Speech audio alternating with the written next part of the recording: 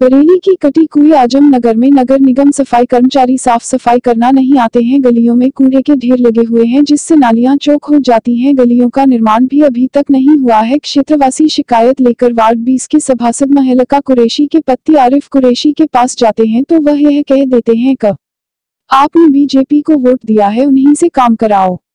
अतः श्रीमान जी से निवेदन है प्रतिक्रिया आजमनगर वार्ड नंबर 20 साफ़ सफ़ाई गलियों का निर्माण नालियों में से पानी निकासी जल्द से जल्द की जाए ज्ञापन में सचिन राजपूत रिंकू राजपूत महेश संजीव यादव आदि शिव सैनिक थे।